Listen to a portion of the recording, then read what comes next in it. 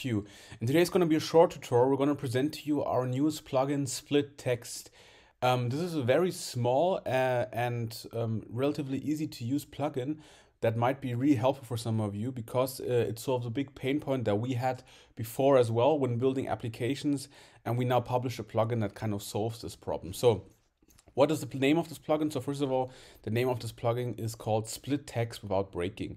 And you can get the text um, by going to the Bubble plugin store. It's available. Just search for Split Text. Um, published by Anticode. And once you install the plugin, you have access to two things, an element called split strings, and then a connected action called split strings, split A, split strings, okay? So how does this work? First of all, let, let me explain to you what pain point this solves. So for example, we recently had an application where we basically had the user uh, input um, some text, and then we want to split these texts into equal parts, okay? Um, and obviously, nothing too uh, complicated because I can take a text, I can uh, take a look for the number of characters this text has, and then divide it by a certain number, um, and then truncate the text. So basically, let's say we have a text um, input by a user with 400 characters, uh, we search for the number of characters, we see it's 400. Let's say we want to split it into four equal parts. We divide by four, we get four pieces of 100 character text, okay? And we can do this by using um, the um, truncate uh, feature. So for example, I can take here text, uh, let me actually add an input here. Let's add a multi-line input to the top, okay?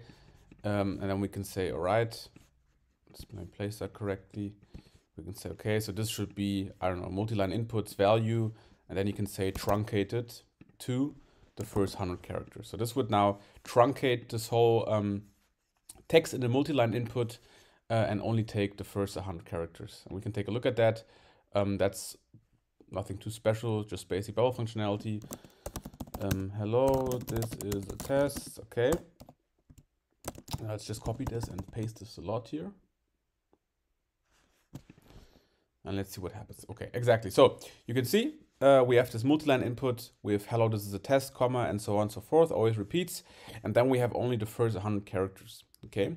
Now you might already see the issue with this, which is obviously the uh, truncated uh, method or splitting by a number of characters works well if you want an exact number of the same characters. But what it does, it just completely splits it at the position where the 101th character is in this case.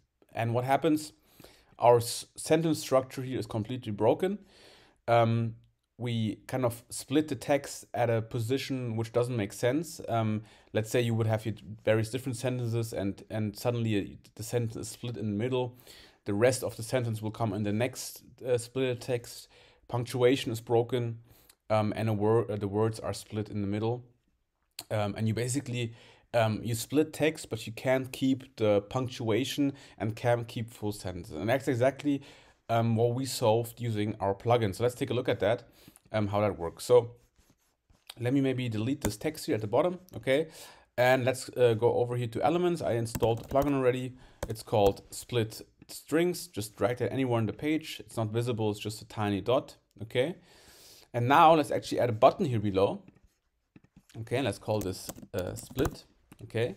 And then let's say, okay, start at a workflow. We wanna do an element action, wanna split a string, okay? And now we'll ask us which text or which string we wanna split. And now we'll say, all right, please split multi, uh, multi-line input A's value. And now you have to define obviously in what kind of segments you want to split the text. What should be the maximum number of characters? And now let me explain to you how that works. So let's say you have a text again with 400 characters and you say I want to split it um, with max number of characters 100. Our plugin will then try to split the um, text you enter here into equal parts of roughly 100 characters, but it will prioritize not breaking punctuation and not breaking and splitting words. So it will first take a look at that, and if it will see, okay, this sentence is a bit long, this is a bit shorter, it might deviate from this 100 character limit. So maybe one block will be 90 characters, one will be 110 uh, or, uh, or 80. It will just enforce this as the optimum. and then look according to not splitting punctuation. So let's actually take a look um, at how that works. So I, I, entered here 100 now. So I want to split into equal parts of 100. Or let's actually make 200 because 100 is a bit too small. Okay. And now we can, for example, simply add a repeating group here because the re uh, return of this will be a list of texts, obviously, because this is split one text into several texts. So I'm going to have here type of content text, what will be the data source? Well, simply split strings string return. Okay, and now we can have the individual returned text here in the repeating group. So current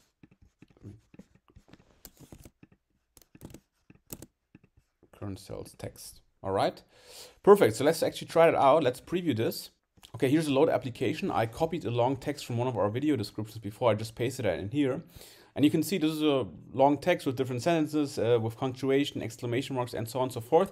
And now if we hit split, let's see what happens. You can see um, the text here is split by the repeating group, into the repeating group, and our plugin recognizes punctuation, words, and splits these texts into roughly equal parts, but keeps the punctuation intact, doesn't destroy um, any words or cuts them in between. And you can see it makes the, the cutting it made makes totally sense. We have equal parts here.